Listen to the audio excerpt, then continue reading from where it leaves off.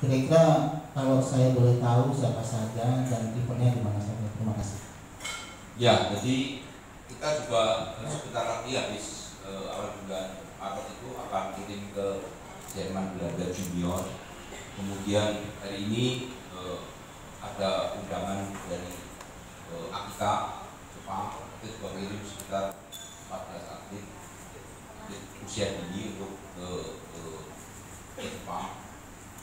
E, lainnya adalah kejuaraan-kejuaraan dari mulai U13, 15, 17, 19 di Singapura, di Thailand, di Malaysia, di, di beberapa negara Asia. Itu juga ada e, sepanjang tahun biasanya kita kirim atlet-atlet yang sudah pernah juara atau berpotensi juara itu dikirim ke sana. Tapi yang belum juara ya kita tidak mau kita sembarangan asal kirim juga. Tapi harus ada alasan tertentu atlet ini punya uh, bukti bahwa sudah pernah juara di Sirnas dan sebagainya.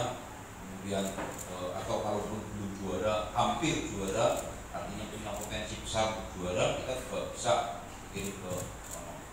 Dan mereka uh, uh, dibayar oleh uh, klub didukung oleh sponsor. Dukungan uh, uh, bisa produk bisa juga dukungan uh, doa